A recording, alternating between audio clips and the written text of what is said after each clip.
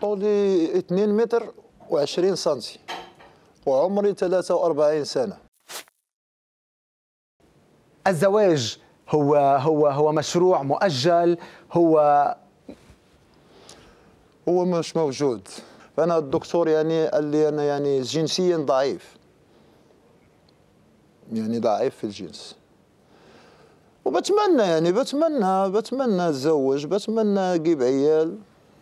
بس هذه حكمة ربنا يعني السبب آه، بالضعف الجنسي اللي قال لك اياه الطبيب هو السبب شو بالضبط؟ والله يعني أنا رحت على رحت على الطبيب يعني علشان ليش أنا ما أقدرش أنحني ليش ما أقدرش أشيل فيعني سابوا سابوا الحاجات دي وراحوا لي ال- الدماغ لأن كانت عندي غدة الدرقية يعني حاجة تسموها أنتم الهرمونات يعني الهرمونات. النخامية نعم آه.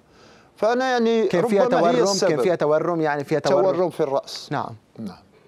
هو السبب. بدك مساعدة بحياتك اليومية الصديق أو لا؟ ممكن أنت لحالك آه أنا بدي مساعدة بدي مساعدة كثير. أنا أول شيء أنا ما بقدر ألبس سروالي وحدي. أنا ما بقدر ألبس ملابسي. أنا في أختي أو أخي يساعدني عشان ألبس. أنا أي حاجة يعني حتى الحمام يعني ما ما بعمل أي حاجة. ما أقدرش أعمل حاجة. يعني فوق بستحب تحت ما. ما بلحقش عليه يعني بتكون أخ أخي أو أختي يساعدني يعني إنه يلبسني يعني يديني الحمام يعني يوديني الحمام إحنا ما بنعيش حياة يعني عادية يعني فإحنا أنا بضطر يعني أبقى مستخبي في البيت ما أخرجش الشارع ليه؟ لأن الناس ما بتسيبنيش في حالي يعني المشكلة الأساسية مع الناس مع أو الناس. ال اليوميات اللي لا بتعيشها الناس هي مشكلتي المشكلة عندي هو الناس شو بيقولوا الناس لما بيطلع الصديق اليوم في المغرب شو بيقولوا لك؟ الصديق يعني إحنا عندنا كلمات يعني عندنا بيقول لك يعني أنت ناطحة سحاب العوائق اللي بتواجهها بالحياة اليومية شو هي؟ العوائق يعني مسائل النقل يعني لو أنا آخذ سيارة اجره يعني خاصني نشد يعني ثلاث أو اثنين مقاعد يعني.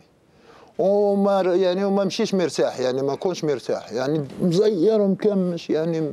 الأمور الحياتية الأخرى اللي كل يوم يعني كل إنسان يعني بي- بي- بيعيشها كل يوم من قلت لي من التنقل إلى إلى إلى لبسك. لبسي غير موجود يعني.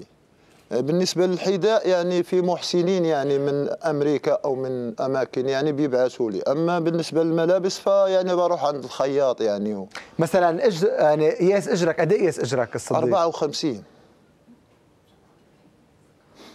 وثيابك؟ تيابي أنا يعني عندك من من رجلي لهون متر وعشرين. يعني سروال متر وعشرين. وما تبقى يعني على جوج متر يعني وبقى متر هنا. التحديات في العمل شو هي؟ أنا اشتغلت في فرن.